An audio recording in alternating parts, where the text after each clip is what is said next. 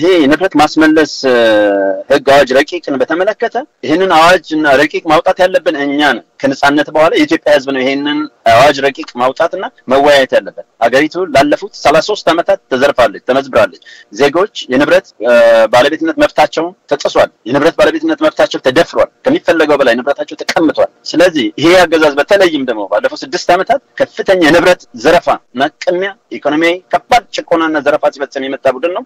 ይህንን አጠናክሮ ቀጥሏል። ለዛም የበለጠ ለማጠናከር ይህንን አዋጅ እያወጣ ነው። ነገር ግን እኛ ይህንን አዋጅ ማውጣት ያለብን ቀጣይ ከነጻነት በኋላ የኢትዮጵያ ህዝብ ነው ነው ወይም የኢትዮጵያን ህዝብ በትክክል የሚወክለው የመንግስት ስርዓት ነው የሚያወጣው ይህንን አዋጅ። ከዛዝ በህዝብ የህዝብ ንብረት የሀገር ንብረት እየተቀማ እየተዘረፈ ባገዛዙ ለግል ጥቅም የዋለ ዛሬ እነሱ ሰማይ ጠቀስ ፎቆች የሰሩበት ላለፉት ሰላሳ ሶስት ዓመት ነው የምለው።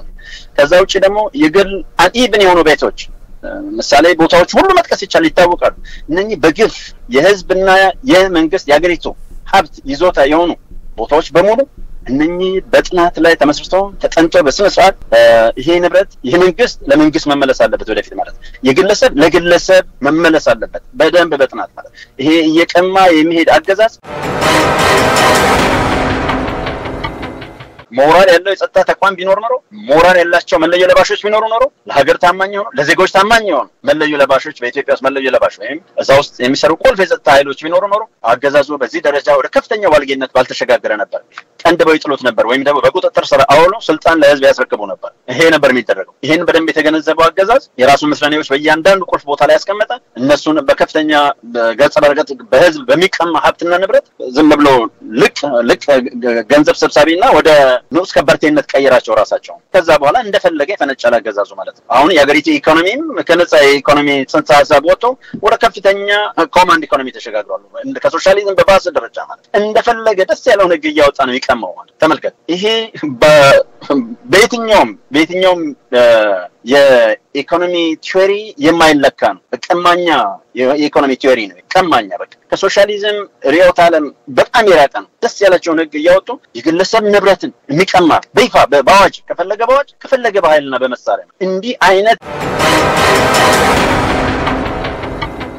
በዛ የተበረታቱት እነኚህ ጨካ የዘመናችን ጨካኞች ነው በልዩ ኃይሉን በማፍረስ አጠቃላይ በአማራ ህዝብ ላይ ጦርነት ከፍተው ነበር። ይሄ እንግዲህ ከከፈቱበት ጀምሮ ሽንፈትን እንደ ጉድ ተጎንጭተውታል። በፋኖ በኩል ደግሞ ከአነስተኛ የሰው ኃይል ትግል ወደ ከፍተኛ ደረጃ በኃይልም በትጥቅም በሰው ኃይል አደረጃጀትም በሞራልም ወደ ከፍተኛ እምርታ ተሸጋግሩ። በዚህ አጠቃላይ የአንድ ዓመት ሂደት ውስጥ ደግሞ በሚያስደንቅ ሁኔታ ድልን በተደጋጋሚ ተቀዳጅቷል። የሚያሳዝነው ምናልባት part ምንድን ነው? አገዛዙ በደረሰበት ሽንፈት ሁሉ በንጹሐን ላይ የሚያደርሰው የበቀል በትር ነው፣ የጭካኔ በትር በንጹሐን ዜጎች ላይ በንጹሐን አማራ ላይ የሚፈጽመው የግፍ ተግባር እሱ በታሪክ ውስጥ የሚመዘገብ ነው። እጅግ በጣም አሳዛኝ ስለሆነ ማለት ይሄ ልመና፣ ሽምግልናና ማስመሰል እሱ የተበላ ከሆነ already የረከሰ ተግባር ያንን ተግባር አርከሰውታል እነሱ። በዛ የሚስማማ ያንን የሚቀበል የአማራ ህዝብ የለም ዛሬ። በቃ ብዙ እልቂት ተፈጽሞበታል። ብዙ በደል አይደለም ብዙ ግፍ ተፈጽሞበታል። ስለዚህ ይህንን የግፍ አገዛዝ ማሽቀንጠር እና ህልውናውን ማስከበር የተለመደ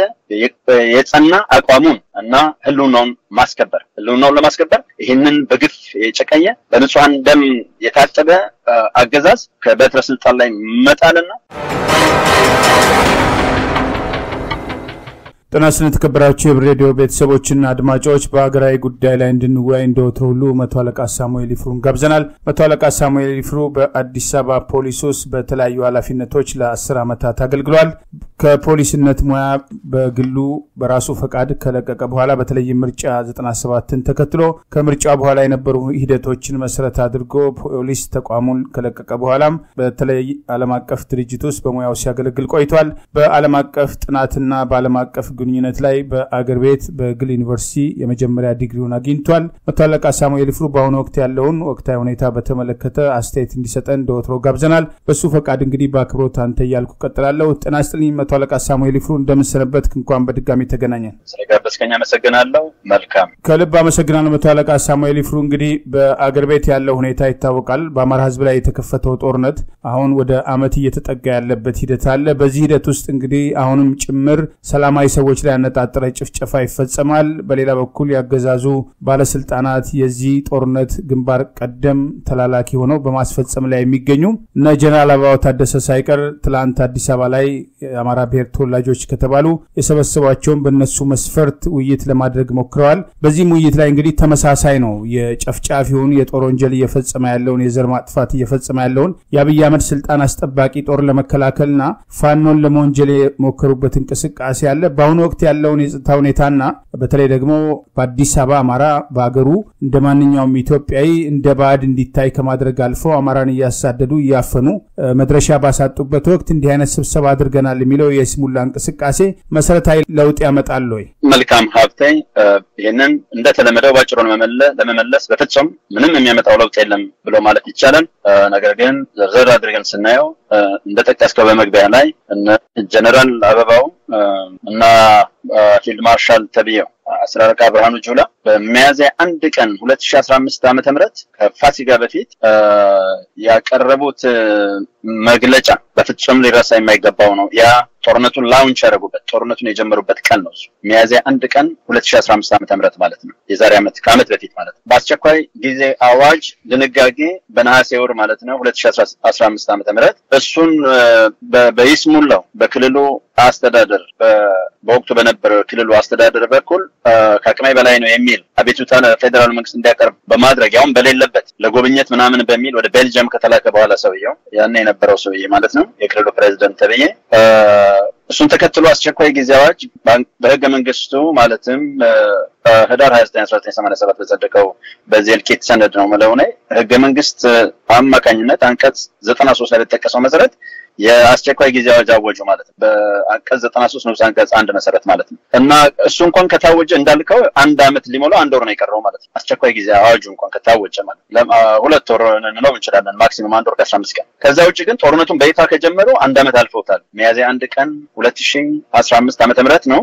በዚህ ረገድ የጀነራል አበባው ታደሰ ሚና በጣም ከፍተኛ ነበረ። በህዝብ ላይ ከፍተኛ የካድሬነት ስራ በመስራት ከፍተኛ የጦርነት ማስጀመሪያ ፕሮፓጋንዳ ሲበትን የነበረው ግንባር ቀደም ተጠያቂ ከብርሃኑ ጁላ ጋር ተጠያቂ ነው። ሰውዬ ዛሬ በቅርብ ቀን እንኳን አሁን የት እንደነበረ የሰማኸው ነው። ምን አይነት ነገር እንዳደረገ ከደረሰበት ከበባ እንዴት ለጥቂት እንዳመለጠ የነበረበት ሄሊኮፕተር እስከ መመታት መድረሱን ሁሉ በተደጋጋሚ ሰሞኑን በዜና የሰማነው ጉዳይ ነው። ከዛ በኋላ በመጣ በተመለሰ ወደ አዲስ አበባ ማግስት ማለት ነው የአማራን ህዝብ ተወላጆች ሰብስበን like የሀገሩን በሬ የሀገሩን ሰርዶ በሀገሩ በሬ ልክ እንደሚባለው ወገኛ ቡድን ስለሆነ አገዛዙ እጅግ ወገኛ ስለሆነ ይህንን ሰው አምጥቶ እንደገና ተራ የካድሬነት እንዲሰራ ደግሞ መልሶ ጥዶታል ማለት ነው። እንደዚሁም የፌዴራል መንግስት የምርመራ ምናምን ኃላፊ የሆነውን አንድ ለጊዜው አሁን ስሙን መጥቀስ አፌ ላይ ነው ስሙ actually እና እነሱን እና ጀነራል ስዩም ዘላለም መንግስቴ ዘላለም መንግስቴ እግዚአብሔር ይስጥልኝ ዘላለም መንግስቴን እና ጀነራል አበባው ታደሰ እንደዚሁም ጀነራል ስዩም የሚባል በአማራ ስም ከፍተኛ የምስለኔነት እና የምንደኝነት ስራ የሚሰራ ሰው እነኝን በመሰብሰብ እነኝን በመላክ እነሱ መሩት በተባለው መድረክ ላይ አገዛዙ ለሰላም የቆመ መሆኑን ለማንጸባረቅ ሞክሯል። እውነት ለመናገር የማይናቁ ሀሳቦች ተነስተውበታል። ማለትም ከህዝቡ ማለት ወይም ደግሞ እነሱ በራሳቸው መንገድ ከንግዱ ማህበረሰብ ወይም እንደዚህ ተሰሚነት አላቸው ብለው የሚያምናቸውን ሰዎች ነው ለመሰብሰብ የሞከሩት። ይሄ እንግዲህ አንድ አመት ሙሉ ጦርነት አካሂደው ከፍተኛ እልቂት ፈጽመው የጦር ወንጀል ፈጽመው የዘር ማጥፋት ወንጀል ፈጽመውና አስፈጽመው ያላቸውን የሀገሪቱን በሀገሪቱ ብሔራዊ ሀብት የተገዛ መሳሪያ በሙሉ ተጠቅመው ድሮን ሳይቀር በሄሊኮፕተር በአውሮፕላን ጭፍጨፋ ፈጽመው ብዙ ሀያ ሶስት ሳይቀር የህዝብ መኖሪያ መንደሮችን አውድመው በጣም ብዙ ሰላማዊ ዜጎችን አያሌ ሰላማዊ ዜጎችን በከፍተኛ ግፍና ጭካኔ ከፍተኛ ግፍ ፈጽመው ጨፍጭፈው ሲያበቁ ይህ ሁሉ ሙከራ ተደርጎ አልሳካ ሲላቸው በተለይም በዓለም አቀፉ ማህበረሰብ ዘንድ ለሰላም የቆሙ ለማስመሰል ከፖለቲካ አመራሩ እስከ ወታደራዊ አመራሩ ለሰላም የቆመ ለማስመሰል የሚደረግ ተራ ተውኔታዊ ድራማ ነው። ለማንኛውም በዚህም ተውኔታዊ ድራማ መድረክ ላይ የሚተወንበት ተውኔታዊ ድራማ በሚተወንበት መድረክ ላይ መጡ የተባሉት ሰዎች የማይናቁ ጥያቄዎችን አንስተውላቸዋል። ይህ ሁሉ ግፍ ከተፈጸመ በኋላ ጦርነቱ ከተከፈተ በኋላ ይህ ሁሉ እልቂት ከተፈጸመ በኋላ እኛን መሰብሰቡ ምን ጥቅም አለው?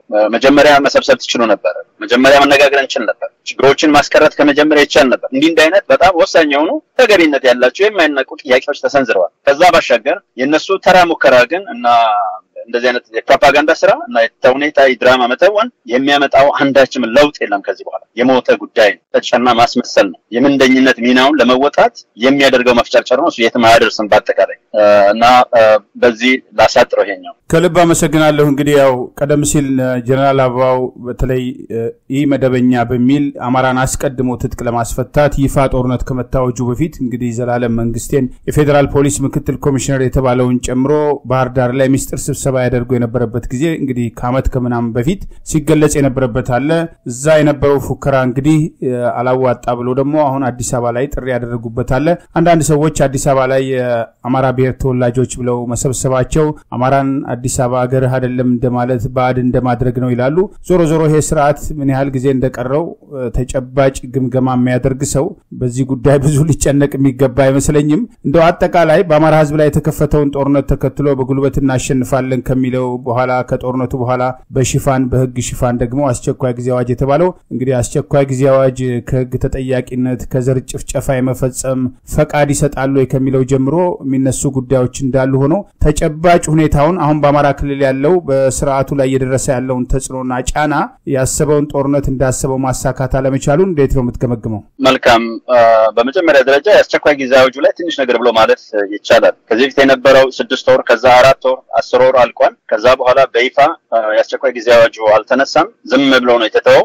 ይህ ማለት ማንኛውም ውል ወይም የተደነገገ ድንጋጌ በተቀመጠለት የጊዜ ገደብ ካልተሻሻለ ወይም እንዲቀየር ወይም እንዲቆም ካልተደረገ በስተቀር እንደ ታደሰ ይቆጠራል ማለት ነው። ወይም ደግሞ እንደቀጠለ ይቆጠራል እኔ እስከሚገባኝ ድረስ በግል አስተሳሰበኝ ማለት ነው። ስለዚህ እነሱ ደግሞ ይሄንን ደግሞ በይፋ ማስቀጠል ዓለም አቀፉን ጫና መቋቋም እንዳልቻሉ በተለይም ዓለም አቀፍ እርዳታ ሰጪ ቡድኖች ወይም ዶነርስ እንደዚህ በቀላሉ አንዱ ከፍተኛ ጫና ያሳደሩባቸው ከዚህ አስቸኳይ ጊዜ አዋጅ ጋር በተያያዘ የሚፈጽሙትን የሰብአዊ መብት ጥሰት የሚፈጽሙትን የወንጀል ድርጊት ዓለም አቀፍ የጦር ወንጀለኝነት እነኝን የመሳሰለው ከባባድ ዓለም አቀፍ ወንጀሎችን ተጠያቂ የሚያደርጋቸው ነጥብ በተደጋጋሚ ስለሚያነሱባቸው ይህንን በዓለም አቀፍ ደረጃ ያለውን ጫና ለመቋቋም ዘም ብለው በለሆሳስ ነው ያለፉት። ያ ማለት አልተነሳም፣ እንደቀጠለ ነው ማለት በአትስታይት ለበል በሀገር አቀፍ ደረጃ ይሄ ነገር እንደቀጠለ ነው ማለት ልብ በል። ስለዚህ አሰራራቸው የጭካኔ ተግባራቸው ያው በተለመደው ባለፉት አስር ውስጥ እንደቀጠሉት በዛው ቀጥለዋል ማለት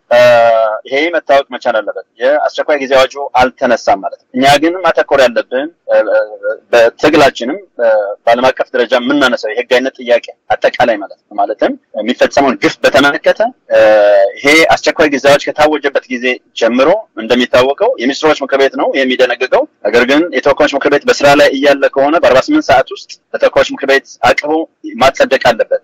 በደንቡ መሰረት ነው ማውረው፣ በተጻፈው ነው ማውረው። ነገር ግን ካላመነበት የተወካዮች ምክር ቤት መሻር ይችል ነበረ። አልሻረውም፣ አጽድቆት አልፎታል። በወቅቱ እንደምታስታውሰው በስራ ላይ ከሌለ ብቻ በአስራ አምስት ቀን ውስጥ ተሰብስቦ ይህን ጉዳይ ማጽደቅ አለበት ነው በዛ ላይ ተቀምጧል። አንቀጽ ዘጠና ሶስት ላይ በዝርዝር አንቀጽ ሶስት ላይ ማለት ስለዚህ በአጠቃላይ አንቀጽ ዘጠና ሶስት ንዑስ አንቀጽ ሶስት ላይ ማለት በዚህ እሱ ለተወካዮች ምክር ቤት ይህን ሲያጸድቅ ማለትም የሚኒስትሮች ምክር ቤት የደነገገውን ድንጋጌ ሲያጸድቀው አብሮ የሚያቋቁመው የምርማሪ ቦርድ የሚባል ክፍል አለ። ይሄ ማለት በዋናነት አጠቃላይ አፈጻጸሙን የሚከታተል ቡድን ይሄ ምርማሪ ቦርድ ማለት ይቅርታ ይቅርታ፣ መቶ አለቃ ሳሙኤል ምናልባት ካለው ሁኔታ አኳያ እንግዲህ አብይ አህመድ የተቆጣጠረውና ጫማው ስር ያለ ፓርላማ ነው። የህግ ድንጋጌዎቹ ትላንትም ህወሓት ህገ መንግስት የሚለው ተቃዋሚዎቹን ለማፈን ህገ መንግስት ልትንዱ ይላል። ህገ መንግስቱን ሲንዱ የነበሩት ህገ መንግስቱን ለራሳቸው ፍላጎት ካልሆነ በስተቀር አማራ ያልተወከለበት ያልተነጋገረበትና ላዩ ላይ የተጫነበት በተለይ በአማራ ዘር ጥላቻ መሰረት ያደረገ ከመግቢያው ጀምሮ ህገ መንግስት የተባለውን ራሳቸው የማያከብሩበት ሂደት አለ። የእነሱ መጠቀሚያና መጨፈሪያ የሆነው አማራ ወለጋ ላይ ሲጨፈጨፍ የህሊና ጸሎት እንኳን ለማድረግ ቅንጦት የሆነበት ፓርላማን እንደ እነዚህን እንደ ህጋዊ ተቋም አይቶ የህግ ማብራሪያ ውስጥ መግባት ይገባል ወይ? ምክንያቱም ዞሮ ዞሮ ስርዓቱ በአማራ ህዝብ ላይ ጦርነት ሲያውጅ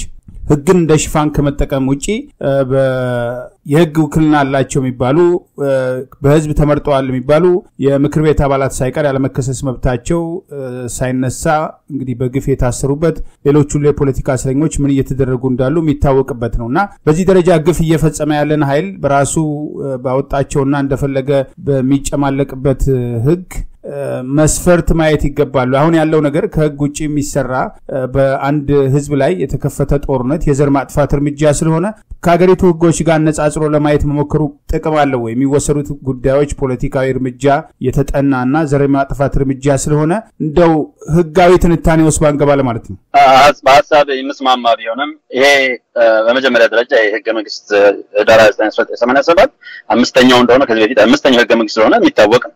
ነገር ግን እኔ ህገ መንግስት ነው ብዬ ለማለትም አልደፍርም። በመሰረት ነው ማለት ነገር ግን በህይወት ስላለ ነው ማለት ነው። እሱ መሰረት አድርገው እየተጠቀሙ ስለሆነ ነው ምን ያክል እንደሚረም ለታዳሚው ለማሳየት የምጠቀምበት ስልት ነው ነው ፕሮፓጌት ስናደርግ በተጨባጭ ማስረጃ ላይ መመስረት ስላለብን ይሄ እልቂት ሰነድ ህገ መንግስት ሊባል የማይችል ነገር ግን የማንክደው ነገር በህይወት ያለ በመሆኑ እሱንም ይሄን በህይወት ያለ የእልቂት ሰነድ እንዴት እንደሚረመርሙት ነው ማሳየት ነገሮቹን ከዛ ጋር አያይዞ ማንሳቱ ተገቢ ነው። በጣም ተጠያቂነት ስለ ተጠያቂነት ማውራት ስለፈለግኩ ነው የጠቀስኩት። ይሄ ምርማሪ ቦርድ ለሚፈጸም እያንዳንዱ ነገር ተጠያቂ ነው በግንባር ቀደም ደረጃ እዛ ውስጥ እነማን እንዳሉ ስለሚታወቅ፣ በሌላ በኩል ደግሞ ይህንን የደነገገው የሚኒስትሮች ምክር ቤቱ ዛሬ ያሉ በሙሉ የውሸት ሚኒስትሮች ነን የሚሉ ሰዎች የምናውቃቸው አንተ ምንን እዛ ውስጥ በጋራ ለወሰኑት ጥያቄ በአንቀጽ ሰባ ሁለት መሰረት ደግሞ እንዴት እንደሚጠየቁ ራሳቸው ያንን ለማንሳት የሄድኩበት ነው። ለማንኛውም እሱ በዝርዝር እዛ ላይ የተቀመጠ ስለሆነ እያንዳንዳቸው ከተጠያቂነት አያልፉም። ካገዛዙ ቁንጮ ባሻገር ማለት አያልፉም። እያንዳንዳቸው ተጠያቂ ናቸው ለማለት ያነሳሁት ነው። ወደ አነሳው መሰረታዊ ጥያቄ በዚሁ ልሄድ። መልካም እና በእኔ በኩል ችግር አይንም። በአጠቃላይ ያለውን ሂደት ማየት ይቻላል። አገዛዙ በተለመደ የጭካኔ ተግባሩ እየሄደ እንዳለ የሚታወቅ ነው። በከፍተኛ ደረጃ እስከ ግንቦት ሰላሳ ሁለት ሺ አስራ ስድስት ዓመተ ምህረት ድረስ ቅድመ ክረምት በሚል አጠቃላይ ዘመቻ በሁሉም የአማራ ጠቅላይ ግዛቶች በከፍተኛ ጭካኔ በተለመደ የጭካኔ ስልት እንደዚሁም በተለመደ የጭካኔ ስልት ብቻም ሳይሆን የሚከተለው የውጊያ ስልት አለ። ከዚህ በፊት አንስተነዋል። በማግደው የውጊያ ስልት ነው የሚመራው። በማግደው የውጊያ ስልት ነው የሚመራው እና ከዛ ባሻገር ደግሞ ሰላማዊ ዜጎችን አብሮ መጥረግ ብርሃኑ ጁላ ካፉ አምልጦታል። አብሮ መጥረግ ይቻላል። እንደዛ ቢሆን ኖሮ እስካሁን ማንም አይኖርም። ህዝቡ ራሱ ይገጥመዋል፣ አታስጨርሱን ብሎ ይገጥመዋል ብሎ ራሱ የተናገረበት የተናገረው ንግግር አይተዋል። መቼም ተቀንጭቦ ሲለቀቅ social media ላይ ማለት ነው። እንዴት አይነት ወራዶች፣ እንዴት አይነት ወራዳ እንደሆነ ማለት እንዴት አይነት ጨካኝ እንደሆነ ማለት ነው። የፈጸሙትም ደግሞ እሱን ያደረጉትም ይሄንን ነው። አብረው ነው ሰላማዊ ዜጎችን ሲጠርጉ የነበረው። ለዚህ ማሳያው ሰኔ ዘጠኝ ቀን ሁለት ሺ አስራ ስድስት ዓመተ ምህረት በጅጋ ከተማ ጎ ሆቴል አስወጥተው ስድስት የአብሲኒያ ባንክ ሰራተኞች እንደውም በኃላፊነት ደረጃ ላይ የነበሩ አምስት የአዋሽ ባንክ ሰራተኞችን እና ሌሎች አስተማሪዎችን እና ሰላማዊ ዜጎች ጸጉር አስተካካይ ሳይቀር እና አስፋልት ላይ መንገድ ላይ አውጥተው እንዴት በግፍ በጭካኔ እንዴት እንደረሸኗቸው የታወቀ ጉዳይ ነው። ዛሬ ገና ስድስት ቀኑ ነው። አምስት ቀን ስድስት ቀን በፊት ሰኔ ዘጠኝ ቀን የተፈጸመ ነው ይሄ ድርጊት ማለት ነው። እና እንዲህ አይነት የጭካኔ ተግባር የሚፈጽም ቡድን ነው ስለ ሰላም ሊያወራ የሚፈልገው። ህዝብ ላይ ከፍተኛውን የጭካኔ በትር የሚያሳርፍ ቡድን ነው ስለ ሰላም ሊያወራ የሚፈልገው። ሰላምን ባልትን ነው አድርገው ሲያበቃ የጭካኔ ተግባር በየዕለቱ በየቀኑ በየሰዓቱ እየፈጸመ ያለ ቡድን ስለ ሰላም ሊያወራና ሰላም ፈላጊ ለመምሰል በዓለም አቀፍ ማህበረሰብ ዘንድ ሰላምን የሚናፍቅ አገዛዝ ለመምሰል ከፍተኛ ጥረት ያደርጋል። በሌላ በኩል ግን ጭካኔውን የሚያስፈጽምበት የውጊያ ስልት ማግደው ነው። ድሀ ኢትዮጵያን እናቶች ልጆችን ድሀ የኢትዮጵያ ልጆችን በአሁኑ ሰዓት ደግሞ በኃይል በማፈን ተሸጋግሯል። እያስገደደ እያፈነ እየወሰደ በሶስት ወር ለብ ለብ ስልጠና ህጻናትን እድሜያቸው ለአካለ መጠን ያልደረሱ ልጆችን ጭምር እየሰበሰበ ፋቲክ እያለበሰ ክላሽ እያስጨበጠ ይማግዳል። በማግደው የውጊያ ስልቱ መሰረት ማለት ነው። ከዛ ውጭ ደግሞ ሲሸነፍ በጠረገው የውጊያ ስልቱ ሰላማዊ ዜጎችን ባገኘበት ቦታ ህፃን፣ አዋቂ፣ ሽማግሌ፣ አሮጊት፣ እናት ምናምን ሳይል በከፍተኛ ደረጃ በጭካኔ ይጨፈጭፋል። ይሄ ነው የውጊያ ስልታቸውና የርካሽ ዓላማቸው ማሳኪያ መንገድ ማለት። በእንዲህ መንገድም ሁሉ ሄደው ሰኔ ግንቦት ሰላሳ ሳይሳካ እንደውም በየአቅጣጫው ከፍተኛ ሽንፈት ደርሶበት አንገቱን ደፍቶ በውርደት ወደኋላ ያፈገፈገበት ሁኔታ ነው ያለው። አሁን ደግሞ ሌላ እቅድ እያስነገረው እስከ ሰኔ አስራ አምስት ቅድመ ክረምት ዓላማችንን ይሄ የተለመደ ርካሽ ዓላማችንን እናሳካለን ብለው ፕሮፓጋንዳቸውን propagate ማድረግ ጀምረዋል። በፋኖ በኩል ወይም ደግሞ በነጻነት ታጋዩ በኩል ደግሞ በህልውና ታጋዩ በኩል ደግሞ ይሄንን ሁሉ የሚቀለብስ በጣም ተደጋጋሚ ተለዋዋጭ ነገር ግን በጣም ተለዋዋጭ የውጊያ ስልት በመከተል አዋጪ የሆነውን የውጊያ ስልት በማንሳት እና በመጠቀም በጥናት ላይ የተመሰረተ ከፍተኛ የመከላከልና የማጥቃት እንቅስቃሴውን አጠናክሮ እንደሚቀጥል መገመት ይቻላል። ያለው አጠቃላይ ነገር ይሄ ነው። በእኔ በኩል ማሸነፍ የማይቀር ነገር ነው። ለፋኖ ትግሉ እጅግ መራራ ነው። ነገር ግን በመራራው ትግላችን እናሸንፋለን። ይህንን ነው ማለት እንችል። አመሰግናለሁ። ከልብ አመሰግናለሁ መቶ አለቃ ሳሙኤል ይፍሩ። እንግዲህ ቀደም ሲል እንዳልከው ነው ያው የተጠያቂነት ጉዳይ ሲመጣ እንግዲህ እጁን ሰቅሎ አብሮ ከሚተባበረው ጀምሮ በተለይ በዋና ዋና ወሳኝነት ሚና ላይ ያሉ በአንድም ሆነ በሌላ መንገድ ከየትኛውም ብሔር ይሆን በየትኛውም ጦርነት በየትኛውም ጭፍጨፋ ውስጥ የተሳተፉ ማንም ቢሆን ከተጠያቂነት እንዳይድን ተደጋጋሚ ጥሪዎች የሚቀርቡበት ሂደት አለ። በዚህ ሂደት እንግዲህ በጉልበት ለማሸነፍ የሚደረገው እንቅስቃሴ አለ። ስርዓቱ እንደ ስርዓት ግን ተዳክሟል ሲባል አንዳንድ ሰዎች የለም ዛሬም ይተኩሳሉ፣ ዛሬም ስብሰባ ያደርጋሉ፣ ዛሬም ይወጣሉ ይገባሉ እና የአንድ ስርዓት ጥንካሬ መገለጫ እነዚህ ናቸው ወይ? አሁን ባለው ተጨባጭ ሁኔታ ውስጥ የአማራ ህዝብ ላይ የተከፈተውን ጦርነት ተከትሎ በአንድ በኩል ፋኖ አይደለም አስር አስራ አንድ ወርና አመት ድረስ በአስር ቀን ውስጥ በሳምንት ውስጥ እንጨርሰዋለን፣ በሶስት ወር ውስጥ ትጥቅ ብቻ ሳይሆን ቀበቶ እናስፈታለን የተባለበት ፉከራ ነበር። ከባህር ዳር ከሌሎች ቦታዎች ስብሰባ ተነስቶ ዛሬ አዲስ አበባ ምከሩ አሳርፉልን እስከ ማለት የተደረሰበት ሂደት የስርዓቱን ጥንካሬ የሚያሳይ ነው ወይ? ተጨባጭ ግምገማው ያ ነው ወይ? ይሄ በጣም ግልጽ ነው። ይሄ የእነሱ የውጊያ ስልት በተደጋጋሚ እንዳልኩት አላማቸውን ለማሳኪያ የተጠቀሙበት ስልት እንደዚህ ስልታዊ የሆነ የውጊያ ስልት አይደለም የሚጠቀሙት። በጣም በግፍ ላይ የተመሰረተ የጨፍለቃ በጭካኔ ላይ የተመሰረተ የጥፋት የልቄት የውጊያ ስልትን ነበር የተከተሉት። ይህ ሁሉ ሆኖ ግን አልተሳካም። ይሄ ስላልተሳካ ያላቸው አማራጭ አድርገው የወሰዱት በእነሱ አስተሳሰብ እንደዚህ የሚታወቁ ሰዎችን ይሄ በየደረጃው ጦርነቱ ከጀመሩበትም ከመጀመሪያቸውም በፊትም አስራ ሶስት ሺህ ፋኖን ለምደዋል። በሽማግሌ በማስመሰል በካህናት በቤተክርስቲያን አባቶች በእምነት አባቶች በመስጊድ አባቶች እያግባቡ አስራ ሶስት ሺህ አምስት መቶ ከአንድ ዓመት በፊት ከአስራ ሶስት ሺህ አምስት መቶ በላይ ፋኖዎችን እንዲህ በቀላሉ እነሱን በቅንነት እጃቸውን ሰጥተዋቸው እነሱን ያኔ በዛ ደረጃ በዛ ቁጥር ከአስራ ሶስት ሺህ አምስት መቶ በላይ ማጎር መቻላቸው concentration camp ውስጥ ያኔ የነበረው ሰማ ጥሩነህ በኃላፊነት ላይ በምክትል አስተዳደር በምክትል ፕሬዚዳንት ማዕረግ እዛ የክልል ስልጣን ላይ የነበረው ሰው ለምንደኝነት ተግባሩ እንደ መታመኛ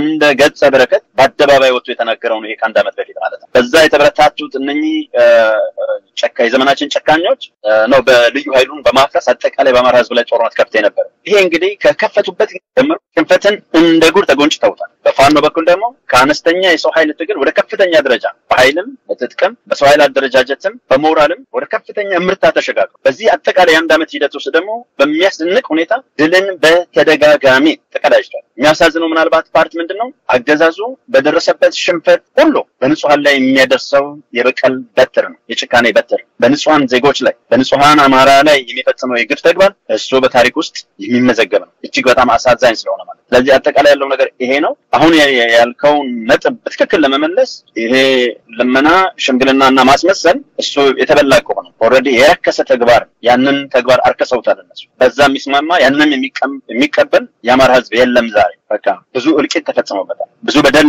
አይደለም ብዙ ግፍ ተፈጽሞበታል። ስለዚህ ይህንን የግፍ አገዛዝ ማሽቀንጠር እና ህልውናውን ማስከበር የተለመደ የጸና አቋሙን እና ህልውናውን ማስከበር ህልውናውን ለማስከበር ይህንን በግፍ የጨቀየ በንጹሐን ደም የታጠበ አገዛዝ ከበትረ ስልጣን ላይ መጣልና ህልውናውን አስከብሮ በሰላም መኖር ነው የአማራ ህዝብ እጣ የሆነው ነው። ሌላ ከዚህ ውጭ ምንም የተለየ እጣ ፈንታ የለው። የመጨረሻው አማራጭ ብቻ ነው። እሱን በከፍተኛ መስዋዕትነት በከፍተኛ ተጋድሎ እያስኬደው ነው ያለው እና የእነሱ የማስመሰል ልመናና ተውኔታዊ ድራማ የትም ምንም አያመጣም። ይሄ ማስመሰልም የሽንፈታቸው የውድቀታቸው የመጨረሻ ምልክት ነው ብዬ ነው መወስደው ያመሰግናል። ከልብ አመሰግናል መቶ አለቃ ሳሙኤል። እንግዲህ ያው አዲስ አበባ የሁሉም ኢትዮጵያውያን ከተማ መሆኗን የማይቀበለው አራት ኪሎ የመሸገው ዘረኛ ኃይል አዲስ አበባ የኦሮሚያ ክልል አካል ነች በሚል እየወሰዳቸው ያሉ የተለያዩ የአፈና እርምጃዎች፣ የዝርፊያዎች አሉ። እንግዲህ ሸገር ከተማ ላይ ተሞክሮ ሰራልን ያሉትን የግለሰቦችን ሀብት መዝረፍ፣ መውረስ፣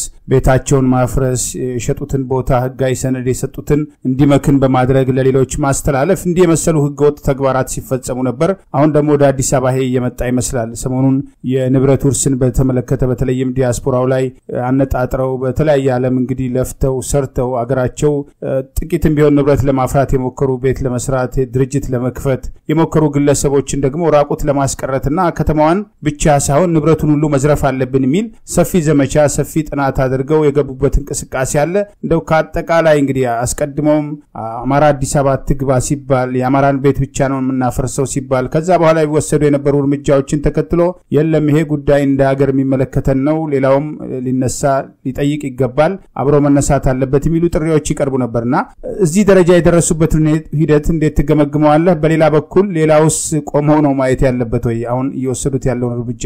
መልካም ሀብቴ፣ ትክክል ነው። ከመጡበት ጊዜ ጀምረው እየፈጸሙ ያሉትን ድርጊት እየፈጸሙ የመጡትን ድርጊት ወደኋላ መለስ ብለህ ባለፉት ስድስት ዓመታት ውስጥ ስናየው ስንመለከተው ለጥፋት ለጥፋት ተማምለው የተነሱ ቡድኖች ናቸው። ለጥፋት ማለት እና ይህ ዘመን የግፍ ዘመን ብቻም ሳይሆን የቀማኞች ዘመን ይሄ የቀማኞች ዘመን በጣም አደገኛ ነው። በጣም ህልውናን የሚያጠፋ የቀማኛ ዘመን ማለት የግፍ ዘመን እና ቀደም ሲል የጠቀስካቸው እንዳለ ሆኖ አፓር በአፓርታይድ ስልተምት በተደጋጋሚ ያው የምንናገረው ነው። በስልቀ ጣሪዮት ዓለም የሚመራ በአፓርታይድ ስልተምት አፓርታይድ ስልተምትን እያካሄደ በስልቀ ጣሪዮት ዓለም እየተመራ የመጣ ቡድን። ስለዚህ ለግፍ ተግባሩ ማሳለጫ፣ ለግፍ አገዛዙ ጉልበት ለማግኛ ያልካቸውን ድርጊቶች እየፈጸመ ከመምጣት ባሻገር ራሱ ወደ ከፍተኛ ቀማኛነት ከሚፈጸመው የግፍ ተግባር ባሻገር ራሱ ወደ ከፍተኛ ቀማኛነት በማሸጋገር እና የመሳሪያ ፈሙዝ እያሸተተ በትረ ስልጣኑ ያው እጁ ላይ ስላለ እስከ መጨረሻ የውድቀቱ ቀን ድረስ የሚፈጽመው ድርጊት ሲታይ ምን ያክል እጅግ በጣም ጨካኝ ቀማኛ ቡድን መሆኑን ማንም ያወቀው ነው። ዛሬ ያለ ልዩነት ማለት ነው። ዛሬ ይሄ ያልተገለጸለት ቢኖር ምታዝነው ለዛ ላልተገለጸለት ሰው ነው። ከዛ ባሻገር አዲስ አበባን በተመለከተም በአማራው ላይ ሲፈጽም የመጣው ግፍ ወደ አዲስ አበባ እንዳይመጣ እንዳይገባ ይሄ እንግዲህ ከጦርነቱ በፊት በተከታታይ አድርጎ አሳይቷል። ያ እንግዲህ የአፓርታይድ ስልተመቱ መገለጫ ነው እና ዛሬ የምናያቸው ነጸብራቆች የስልቀ ጣሪዮት ዓለሙ ያው እሱን እያራመደ የሚሄድ ቡድን ስለሆነ ምንም የሚጠበቅ ተግባር አይደለም። ነገር ግን ይህን የግፍ ተግባሩን የበለጠ በቀረችው ዘመን በቀረችው እንደዚህ በትክክል ምናልባትም እንግዲህ ዛሬ የአዲስ አበባ ከተማን ይሆናል ሙሉ በሙሉ በቁጥጥር ስር አድርገው እየሄደ ያለው ሌላውን ኢትዮጵያ ግዛት በትክክል እያስተዳደረ ነው ብሎ ለማለት በፍጹም የሚያስደፍር አይደለም። ለማንኛውም ለዚህ የግፍ ስልጣኑ ማሳለጫነት እና ይህንን የግፍ አገዛዙን ለማጠናከር አያሌ ረካሽ ህጎችን ለማውጣት እየተፍጨረጨረ ነው የሚገኘው። አንዱ ቅድም የጠቀስከው ነው። ከዛ በፊት ግን ከሀያ ቀን በፊት ዜጎች ከሀገር እንዳይወጡ የማገድ ስልጣንን ከፍርድ ቤት በተጨማሪ ለኢሚግሬሽን መስሪያ ቤት የሚያጋራ አዋጅ ረቂቅ በፓርላማ መቅረቡ እና እጅግ አስገራሚና አሳፋሪ ነበር። እንዴት ህግን በስልታዊ መንገድ መጣስ ሳይሆን እንዴት ህግን በይፋ በአደባባይ እንዴት እንደሚጨፈልቅ ያሳየበት ነበረ ያ ረቂቅ። ሁለተኛው ያለ ፍርድ ቤት ትዕዛዝ የመገናኛ ዘዴዎችን መጥለፍ የሚያስችል ረቂቅ ለፓርላማ መቅረቡ ነበር። ይህም በራሱ አነጋግሮ ህዝቡን ሳያበቃ በአናቱ የንብረት ባለቤትነት መብትን በዚህ የእልቂት ሰነድ ወይም ደግሞ ህገ መንግስት ተብዬው በህዳር ሀያ ዘጠኝ አስራ ዘጠኝ ሰማንያ ሰባት ያው የግድ ለመጥቀስ የምገደደው በህይወት ስላለ ነው ብያለሁ። እሱ እንድትወስድን ይፈልጋል እንጂ ለእሱ ፍቅር ኖሮኛል። የእልቂት ሰነድ ነው ምለው ምክንያቶች አሉ፣ ከበቂ በላይ ምክንያቶች አሉ። ያንን የምልበት ምክንያት ለማንኛውም ይህንን የንብረት ባለቤትነት መብት አንቀጽ አርባ ላይ የተቀመጠውን በመጨፍለቅ እንዲሁም በወንጀል ህግ በወንጀል ህግ ወደ ኋላ ህግ ማለትም ወደ ኋላ ሄዶ አይሰራም የሚለውን አንቀጽ ሀያ ሁለት ድንጋጌን በመጨፍለቅ በመጨፍለቅ ንብረት የማስመለስ ህግ አዋጅ ረቂቅ ለፓርላማ ለማቅረብና ለማጸደቅ መወሰኑን እንዴት አይነት የቀበጠ አገዛዝ አረመኔ ግፈኛ አገዛዝ ብቻም ሳይሆን በጣም ከፍተኛ ወገኛነት ስሜት የሚያሰቃየው በከፍተኛ ወገኛነት ስሜት የሚሰቃይ እጅግ አሳፋሪ ቡድን ነው እና በዚህ አስታኮ ወደኋላ አስር ዓመት retroactive ማለት ነው ህግ ተከሳሽ advantage ካልሆነ በስተቀር በምንም አይነት ተአምር ህግ ወደኋላ ሄዶ አይሰራም። ምክንያቱም የድርጊት ክፍሉ እንኳን ቢኖር የህግ ክፍል አልተሟላም ከአስር ዓመት በፊት ይሄ ህግ አልነበረም። ከዛ ጊዜ የፈለገውን በፈለገ የገንዘብ ምንጭ ይኑረው አንድ ቤት ቢሰራ ያ ሰው ወደኋላ ከአስር ዓመት በኋላ ሄደ የምትጠይቅበት የሀገሪቱ የፍትሐ ብሔር ህግ አለ ከአስራ ዘጠኝ ሀምሳ ሁለት ዓመተ ምህረት ጀምሮ የጸደቀ ማለት ነው። የግል ተበዳይ ወይም ደግሞ ባለመብት ነኝ የሚል ካለ ይችላል። ከዛ ውጪ በምን ተአምር ነው አስር ዓመት ወደኋላ ሄዶ እንደዚህ አይነት ፍርደ ገምደል የሆነ በያዘው መሳሪያ ብቻ በመመካት እንደዚህ አይነት የጭካኔ ህግ ሊያወጣ እና ህዝብን የህዝብን እና የአገርን ሀብት ለመቀማት የሚፍጨረጨር እጅግ ርካሽ ቀማኛ ቡድን ነው። ስለዚህ ይሄ በፍጹም ተቀባይነት የለውም። ሌላኛው ሳልጠቅስ የማላልፈው ቤትና ንብረት ላይ የሚጣለው ተጨማሪ ታክስ ረቂቅ አዋጅ ነው። ይህም በጣም አደገኛ ነው። በቅርብ ቀን ይህንንም አጠናክሮ መቀጠል ይፈልጋል። ሌላው መብትና መብራትና ኤሌክትሪክ ከፍተኛ የታክስ ጭማሪ እንደሚጣል መጠበቁ ነው። አሁን የነዳጅ ዋጋ ጭማሪ፣ የውጭ ምንዛሬ ጭማሪ ወዘተ አገዛዙ እየተከተለ ያለው የግፍ ጉልበት የግፍ ጉልበቱን ለማጠናከር የሚያደርገውን ርካሽ መፍጨርጨር የሚያሳዩ ናቸው። እነኝን ማንሳት የግድ ይገባል። እና ይሄ ትናንት በተወሰኑ ዜጎች ላይ በማንነታቸው የተለየ ነበር ቤታቸው የሚፈርሰው ንብረታቸው የሚቀማው ሰነድን ህጋዊ ሰነድን በማብከን ይሄን ስልጣንን አላግባብ በመጠቀም ማለት ነው። abuse of power እንዴት አይነት ጭካኔ እንደሆነ። ዛሬ ግን ጥረገው ልክ ለውጊያ የሚጠቀሙበትን ስልት እየጠቀሙ ነው በዜጎች ላይ። ጥረገው በቃ የማንም የሆነ የምን ቅርስ ሳይወድም ህዝቡ አብዛኛው እያዘነ ጭጭ ነው ያለው። ዛሬ በእያንዳንዱ ላይ ያለምንም ልዩነት በእያንዳንዱ ዜጋ መኖሪያ ቤት ላይ ነው የመጡት። አሁን ቅርብ ቀን ብራስ አካባቢ አፍርሰዋል ከፍተኛ አስራ ሰባት ድሮ ወይም ደግሞ ወረዳ አስራ ሰባት ቀበሌ ሀያ ሶስት አካባቢ ማለት የማይደፈሩ በጣም ትልልቅ ቦታዎችን ትልልቅ ይዞታዎችን በከፍተኛ ደረጃ እየደፈረ ነው። ይሄ ቀማኛ ቡድን ማለት ነገም ያልታሰበ ቦታዎችን ያፈርሳል ያልታሰቡ ተቋማትን ያፈርሳል። ስራው ማፍረስ ብቻ ነው በልማት ልማት የሚለው ነገር ሽፋን ነው። የህዝብንም አለም አቀፍ ማህበረሰብንም ለማጭበርበር የሚጠቀምበት ስልት ነው። በከፍተኛ ዘረፋ ራሱ ወደ ከፍተኛ ዘራፊነት አሸጋግሯል። ጥሞታል በቃ በስልጣን እንዴት እንደሚዘረፍ ማለት ዜጎችን ከንብረታቸው እያፈናቀለ እንዴት በከፍተኛ ደረጃ በጭካኔ እንዴት እንደሚቀማ ማለት ሁለት ክፍል ኮንዶሚኒየም ይሰጣል። አምስት መቶ ካሬ ሜትር ቦታ እና ይዞታ አጠቃላይ ቤት ንብረት ነጥቆ ሲያበቃ በሁለት መኝታ ቤት ኮንዶሚኒየም ያውም ለወላጆች ብቻ በመስጠት ሊገላገልና ሊቀማ ይፈልጋል። እነ ዳንኤል ክብረት መጨከን አለብን፣ even የ compensation የካሳ ጥያቄ ማቅረብ የለብንም ወደ ማለት ተሸጋገሩ። ይሄ ጥሟቸው ማለት አሁን ትልቁ እንቅፋት የካሳ ጥያቄ ነው ማለት በፊት ሲጀምሩት ካሳ ተገቢ ካሳ መንግስት ይከፍላል ነበር ሲሉ ነበር። ከዛ በኋላ የካሳ ጉዳይ ለመንግስት በጣም ትልቅ ተግዳሮት ሆኗል። ካሳ ለመክፈል የሚያስችለው አቅም የለውም መንግስት። ሁለተኛው step ነው። ሶስተኛው መጨከን አለብን። ሲንጋፖር ያደገችው በእንዲህ መንገድ ነው እና ስለ ካሳ ጥያቄ ማንሳት የለባቸውም ብለው propagate ለማድረግ ነው በአገሪቱ ሚዲያ መጥተው በአደባባይ አይተዋል። ከአስር ቀን በፊት እንዴት እንደደፈሩ ማለት እና መጨከን ጭካኔን ስንት ጊዜ እንደተናገረው በታች መድረክ ላይ ባገኛት የዛች የመድረክ ዕድል ልክ የእሱ አይነት አሻንጉሊቶች በተሰበሰቡበት ለእያንዳንዳቸው በተሰጣቸው የመናገሪያ time እንዴት አይነት ይህን ቃል በተደጋጋሚ እንዴት እንደተናገረው እንዴት መጨከን እንዳለብን እያንን ጭካኔን እንዴት promote ለማድረግ እንደሞከረ ማለት መንግስት የበለጠ እንዲጨክን እንዴት inspire ለማድረግ እንደሞከረ እና ህብረተሰቡ ደግሞ ይሄን እንዲቀበለው እና የካሳ ጥያቄ ለልማት ስለሆነ የካሳ ጥያቄ መጠየቅ አይቻልም ሊለን ነው የፈለገው። ይህን ያክል ነው ጭካኔያቸው፣ ይህን ያክል ነው አረመኔነታቸው። ወደዚህ ደረጃ ነው አገዛዙ የተሸጋገረው። ይሄ ሁሉም ኢትዮጵያ ልብ ሊለው ይገባል። በአጠቃላይ ዛሬ ዲያስፖራውን በተመለከተው ሀገሬ ቤቴ እምብርቴ እትብቴ የተቀበረበት ቦታ በሚል ቤት ሀገሩ ዞሮ መግቢያ በሚል ቤት ለመስራት ትንሽ ትንሽ ዞሮ መግቢያ ቤት ለመስራት ሁሉም ሰው ይሞክራል፣ ይፍጨረጨራል። ላቡን ጠብ ነው የሚሰራው። ነገር ግን ያንን የሚቀማ በዚህ አዋጅ አሳበው በቀላሉ ለመቀማት የሚያስችለውን ዘዴ ነድፎ ነው የተነሳው። ይህንን በአዋጅ አጸድቆ ማለት ይሄ የመሳሪያ ፈሙዝ ውጤት ነው። አንድ መሳሪያ የያዘ ስልጣን ያለው አካል በመሳሪያ ፈሙዝ የሚመራ አምባገነን እና ቀማኛና የግፍ አገዛዝ የፈለገውን ህግ አውጥቶ ያንን ለመተግበር ምንም ወደኋላ የማይልበት መሆኑን አሳፋሪ ኬንያ ዳቦ ላይ ታክስ ለመጨመር የተነሳውን የህዝብ ተቃውሞ በአንድ ጊዜ እንኳን ለፓርላማ እንኳን አላቀረበው አስፈጻሚው አካል ማለት ፕሬዚደንቱ ጨምሮ አስፈጻሚው አካል ረቂቁን ወደ ፓርላማ እንኳን ሳያቀርበው dump ነው ያደረገው። ለምን የህዝቡን ስሜት አየ፣ አከበረ፣ ተው በቃ ትቻለዋል። ማጽደቅም አለማጽደቅም የምክር ቤቱ የህግ አውጪው አካል ነው። ነገር ግን እኛም የህዝቡን ስሜት በማየት ወደ ህግ አውጪው አካል እንኳን አልመራ ነውም ትተነዋላል። በቃ ተመልከት። የእኛ ግን ባናት ባናቱ የጭካኔ ህጎችን እያወጣ እንዴት እየመጣ እንዳለና በግፍ በጥይት እርሳስ ከሚገሉ ህዝብ ባሻገር ኢኮኖሚካሊ ደግሞ እንዴት የኢትዮጵያን ህዝብ ሊዘርፈው ሊቀማው እንዴት እንደወሰነ የሚያሳይ ነው አጠቃላይ ያለው ነገር እና ይህንን ሁሉም የኢትዮጵያ ህዝብ የተገነዘበ ይመስለኛል።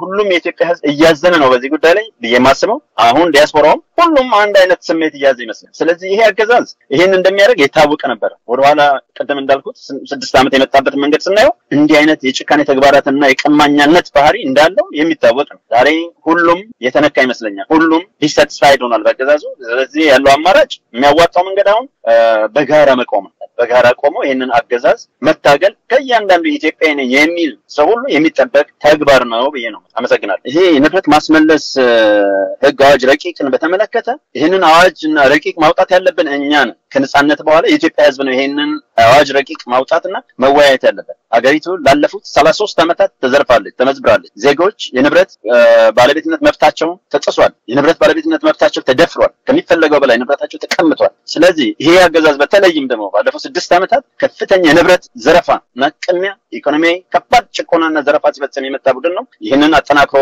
ቀጥሏል። ለዛም የበለጠ ለማጠናከር ይህንን አዋጅ እያወጣ ነው። ነገር ግን እኛ ይህንን አዋጅ ማውጣት ያለብን ቀጣይ ከነጻነት በኋላ የኢትዮጵያ ህዝብ ነው ነው ወይም የኢትዮጵያን ህዝብ በትክክል የሚወክለው የመንግስት ስርዓት ነው የሚያወጣው ይህንን አዋጅ። ከዛ በህዝብ የህዝብ ንብረት የሀገር ንብረት እየተቀማ እየተዘረፈ ባገዛዙ ለግል ጥቅም የዋለ ዛሬ እነሱ ሰማይ ጠቀስ ፎቆች የሰሩበት ላለፉት ሰላሳ ሶስት ዓመት ነው ምለውን ከዛ ውጭ ደግሞ የግል አንኢብን የሆኑ ቤቶች ምሳሌ ቦታዎች ሁሉ መጥቀስ ይቻላል፣ ይታወቃሉ።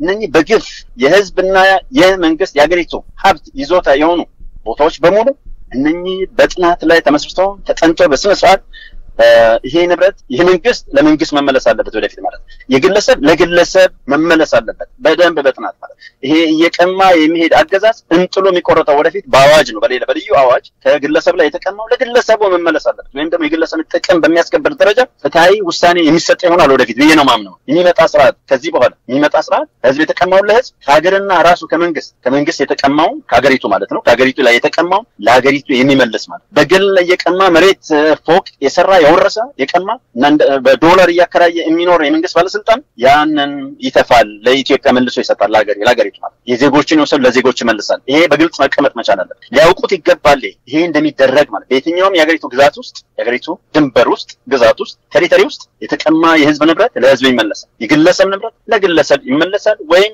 ያንን የግለሰብ ጥቅም ያስከበረ ካሳ ይከፈላል። የግድ ነው። ይሄ ሲደረግ ደግሞ አላግባብ የመዘበሩት የዘረፉት ሀብት ለህዝብ ይመለሳል፣ ለሀገርና ለህዝብ ይመለሳል። የማይቀር ነው። ሊያውቁት ይገባል። ይህን ማለት እፈልጋለሁ። አመሰግናለሁ። ከልብ አመሰግናለሁ መቶ አለቃ ሳሙኤል ይፍሩ። ሌላው እንግዲህ የአገዛዙ ጸጥታ ተቋም እንግዲህ ስልጣን ያስጠብቃል የተባለው ሰራዊት ከጊዜ ወደ ጊዜ እየተናደ እየተመናመነ መምጣት አለ።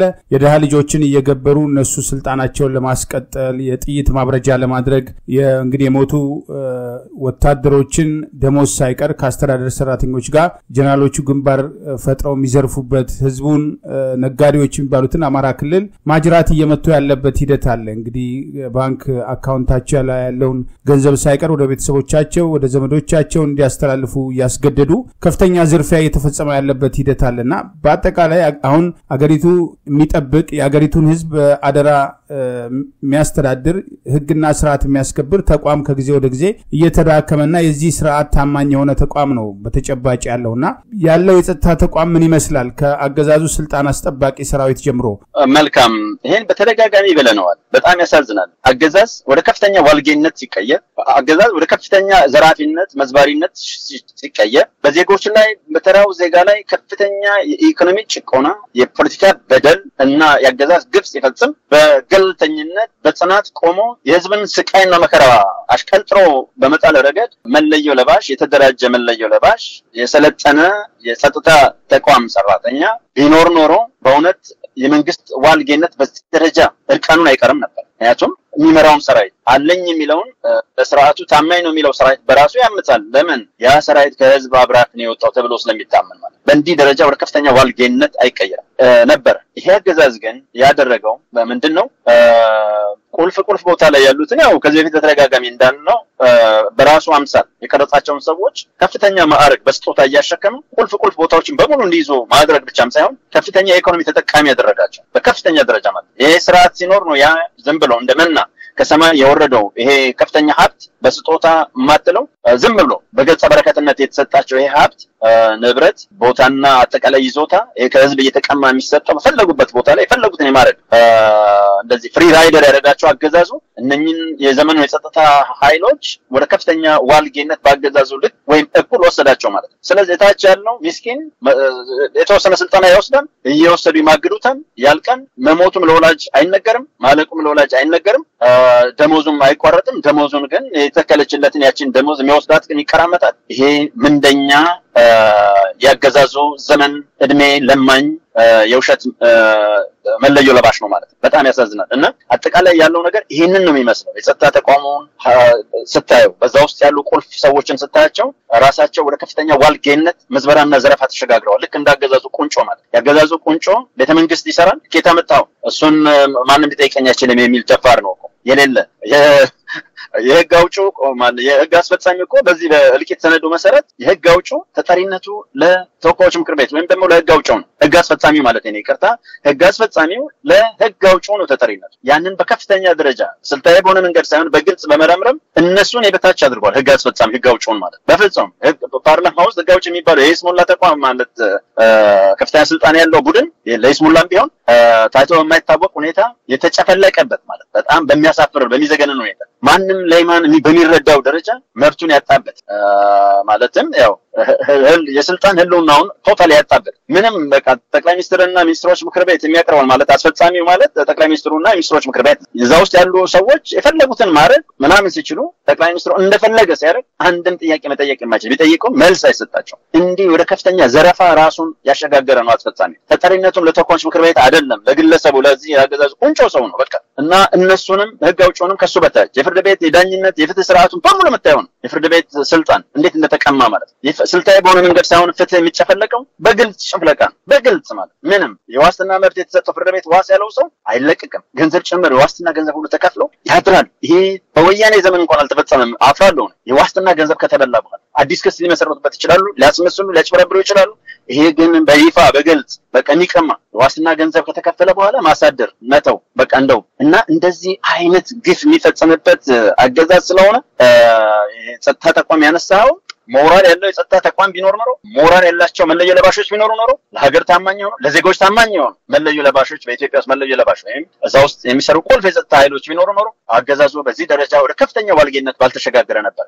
ቀንድበው ይጥሉት ነበር፣ ወይም ደግሞ በቁጥጥር ስር አውሎ ስልጣን ለህዝብ ያስረክቡ ነበር። ይሄ ነበር የሚደረገው። ይህን በደንብ የተገነዘበው አገዛዝ የራሱ ምስለኔዎች በእያንዳንዱ ቁልፍ ቦታ ላይ ያስቀመጠ እነሱን በከፍተኛ ገጸ በረከት በህዝብ በሚቀማ ሀብትና ንብረት ዝም ብሎ ልቅ ልቅ ገንዘብ ሰብሳቢና ወደ ንዑስ ከበርቴነት ቀይራቸው ራሳቸው። ከዛ በኋላ እንደፈለገ የፈነጨለ አገዛዙ ማለት ነው። አሁን የሀገሪቱ ኢኮኖሚም ከነጻ የኢኮኖሚ ጽንሰ ሀሳብ ወጥቶ ወደ ከፍተኛ ኮማንድ ኢኮኖሚ ተሸጋግሯል።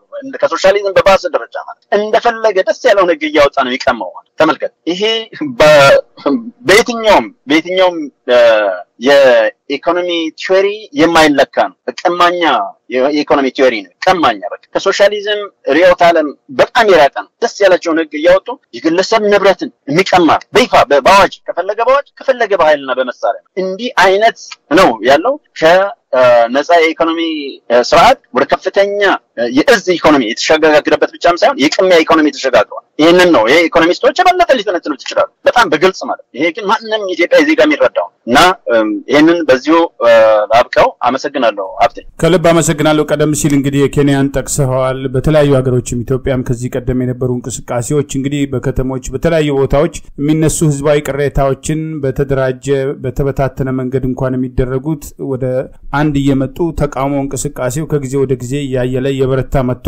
በስርዓቱ ላይ ጫና የሚያደርግበት እንቅስቃሴ አለ። ዛሬ ደግሞ የጠባቂነት ጉዳይ አለ። በአንድ በኩል በአማራ ህዝብ ላይ ይሄ ሁሉ ሰዓት እየወረደ አይቶ እንዳላየ የመሆንና ሌላውም የራሱን እጣ የመጠበቅ እንቅስቃሴዎች አሉ። በሌላ በኩል አዲስ አበባን ከተማ ጨምሮ እንግዲህ በዚህ ደረጃ ህዝብን ራቁት የሚያስቀር የአፈና አገዛዙን ስልጣን ለማስቀጠል ይረዳናል ያሉትን የትኛውንም አይነት ህጋዊ ሆነ ህገ ወጥ ሆነ አዋጃቸውን በቀላጤ በደንብ በምን እያሉ ተግባራዊ የሚያደርጉበት እንቅስቃሴ ሁሉ ሲደረግ ህዝቡ ዝምታ መርጧል እና በዚህ ደረጃ ህዝቡ ወደየት እየሄደ ነው የሚሉ ጥያቄዎች አልፎ አልፎ ይነሳሉ። ህዝቡን ያስተባብራሉ የሚባሉ ተቃዋሚዎች የሉም። እንግዲህ መግለጫ አልፎ አልፎ ከሚያወጡት በስተቀር አንዳንዶቹ ስርዓቱ ጋር የተለጠፉና የተነጠፉ ናቸው። ከምርጫ ቦርድ በአገዛዙ በአመት ገንዘብ የሚከፍላቸው እና ያንን ምክንያት በማድረግ አፋቸውን የዘጉበት እንቅስቃሴ አለና ህዝቡ ከጠባቂነት ወጥቶ ለመብቱ በጋራ መቆም እንዴት አቃተው የሚሉት ጥያቄዎች ይነሳሉና እንደ መፍትሄ እዚህ ላይ የሚነሱ ጉዳዮች አሉ ወይ? እንደ ውይይታችን ማጠቃለያ መልካም ሀብቴ፣ እኔ የኢትዮጵያ ህዝብ ማንንም መጠበቅ የለበትም። ከልክ በላይ ደግሞ ግለሰብን ማመን የለበትም። እኔ ያስታውሳለሁ፣ ይቅርታ አድርግልኝና ወደኋላ ለመሄድ ይገደዳለሁ። አንድ ትዝ ይለኛል በሺህ ዘጠኝ መጀመሪያ ላይ ወያኔ ያስታውሳሉ፣ በልደቱ አያሌው በጣም ይበሽቅ እንደነበረ በተለይ በጸጥታ ተቋም ውስጥ ቁልፍ ቦታ ላይ የነበሩ ሰዎች በሽቀታቸውን መቆጣጠር ሲያቅታቸው ትዝ ይለኛል። በኋላ ላይ ግን በጣም የሚገርም ነገር ያው አንተም ብዙዎቹ ነገሮች እንደምታውቃቸው አውቃለሁ። ምን አሉ ልደቱን እኛ አደባባይ ላይ ብንደፋው እንችላለን፣ እንገላገላለን ነገር ግን አንድ ሺህ ልደቱ ይፈጠርብናል ነበር ያሉ። ከዛ ይልቅ ግን የተሻለ ሆኖ ያገኘ ነው ልደቱን መገልበጥ ነው ይሉ ነበር። በጣም የሚያበሽቅ ነበረ ያኔ ይህን መስማት ፊት በዚህ ደረጃ እና እሱን የተጠቀመበት ያኔ ልደቱ ፓርላማ ምናምን የሚባለው አልገባም። እንዲህ እንዲህ ተብሎ እሱ ብቻውን ሄዶ ሲገባ የኢትዮጵያ ሕዝብ ሁለተኛ ማንንም ማመን የለበትም የሚለውን ነገር ለማስረጽ ነው የተጠቀሙበት። በከፍተኛ ደረጃ ማለት ማንንም እንዴት እነኛን ሰዎች በአጠቃላይ ያምናቸው እንደነበረ የኢትዮጵያ ሕዝብ እኔም ጭምር በግለሰብ ደረጃ ለአንድ ኢትዮጵያዊ ብዙዎቹን በጣም ትልቅ እምነትም ክብርም ነበረኝ። እውነት ለመናገር ዛሬ የተሸበለሉትን ምንደኞች ሳይቀር ማለት እዛ በዛ ዘመን አስቀምጠህ ስትለካቸው ማለት ዛሬ አፍራለሁ። ሄደው አገዛዙ የጭካኔ አገዛዝ ውስጥ የግፍ አገዛዝ ተሳታፊ የሆነው የአውራነት ሚና ሲጫወቱ እና ሲያንቧጭሩ ስታያቸው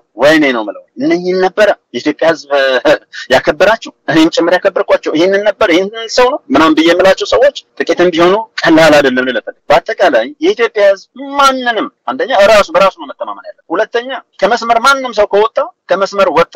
ራሱን ነው ያዋረደው። በቃ ራሱን ነው ያቃጠለው። ከዛ በኋላ በኢትዮጵያ ሕዝብ ፊት የመቆም ሞራል አይኖረውም። አለቀ። ብዙዎችን አይተናል። እንደዚህ በኢትዮጵያ ሕዝብ ፊት መቆም ከዚህ በኋላ የማይችሉ ሰው በህይወት እያሉ ራሳቸውን ወደ ሬሳነት የቀየሩ ራሳቸውን ያቃጠሉ የኢትዮጵያ ሕዝብንና ሀገርን የካዱ ማለት ያገዛዝ የርካሽ አገዛዝ የርካሽ አገዛዝ የአረመኔ አገዛዝ አውራን አውራ ሚና ተጫዋች የሆኑ ማለት የአውራነት ሚና የሚጫወቱ ዛሬም ጭምር ያሉ ማለት የህይወት ዘመን ካዲዎች አሉ ዛሬ አይተናቸዋል ስለዚህ የኢትዮጵያ ህዝብ እኔ ማስተላለፍ የምንፈልገው ከአነጋገር ይቀደዳል ከአያያዝ ይፈረዳል ከአያያዝ ይቀደዳል ከአነጋገር ይፈረዳል ነው የሚባለው። ስለዚህ በአግባቡ መስመር አግባብ ባለው መስመር። ለህዝብና ለሀገር መታገል አንድ ነገር ነው። በዛ ደረጃ ለዛ ሰው ወይም ለዛች ሰው ክብር መስጠት ይገባል። ከዛ ውጭ ከመስመር ከወጣና ህዝብን ከካደ ሀገርን ከካደ ከመስመር በአጠቃላይ ከወጣ ግን ራሱን አቃጥሏል። ከዛ በኋላ የኢትዮጵያ ህዝብ ፊት መቆም አይችልም በታምር ማለት ይሄ ሊታወቅ ይገባል። ስለዚህ ንግግርንም ድርጊትንም እያገናዘበ የኢትዮጵያ ህዝብ ይህን ግምት ውስጥ ማስገባት። ሁለተኛ ለራሱ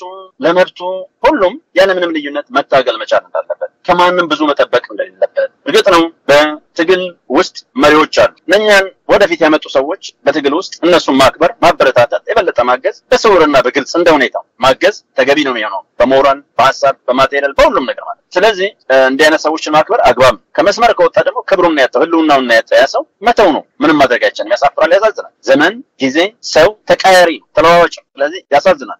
በዛው ልክ ደግሞ እስከ መጨረሻ የጸኑ ሰዎች ደግሞ በታሪክ ውስጥ ዛሬም በፊትም ነበሩ ዛሬም ወደፊትም ይኖራሉ። እንደዚህ አይነት ሰዎችን በተለይም በትግል ውስጥ የበለጠ ዋጋ መስጠት ማበረታታት ማጠናከር እና ለራስ ደግሞ በጽናት መቆምና መታገል ለመብት ለህልውና ለእውነተኛ ሰላም በጋራ በጽናት መቆም መታገል የግድ ነው። በልመና ሰላም አይመጣም። እንደዚህ አይነት አዋኪ እጅግ ከሰላም ጋር የሚፏከት እጅግ በጣም አደገኛ አረመኔ ያገዛዝ ባለበት ይህም በልመናና በጸሎት ብቻ ማምጣት ስለማይቻል ሁሉንም ነገር መጠቀም ጸሎትን በደንብ ሰላምን መመኘት ለሰላም መጸለይ አግባብ ነገር ግን መራራ ትግል ደግሞ መታገል እንዲህ እንደ ዛሬው እንዳለንበት ሁኔታ ተገደን ስንገባበት ደግሞ የግር መራራውን ትግል መጋፈጥና መታገል ይኖርብናል ማለት የግድ ነው። ምንም አማራጭ ስለዚህ የኢትዮጵያ ህዝብ ያለምንም ልዩነት በጽናት መቆም በጽናት መታገልና ይሄንን ታይቶ የማይታወቅ አረመኔ ከፋፋይ እጅግ በጣም ከእውነትና ከሰላም ጋር ተፏቃች የሆነ እጅግ አረመኔ ኃይል ለማስወገድ ከፍተኛ ጥረትና ትግል ማድረግ ይኖርበታል ብዬ ነው ማምነው አመሰግናለሁ። ከልብ አመሰግናለሁ መቶ አለቃ ሳሙኤል ይፍሩ እንደወትሮ ሁሉ ወደፊትም በሌሎች ወቅታዊ ጉዳዮች እንወያያለን። ለሰጠን ጊዜ እግዜር ይስጥልን። መልካም ቀሪ ጊዜ ይሁንልህ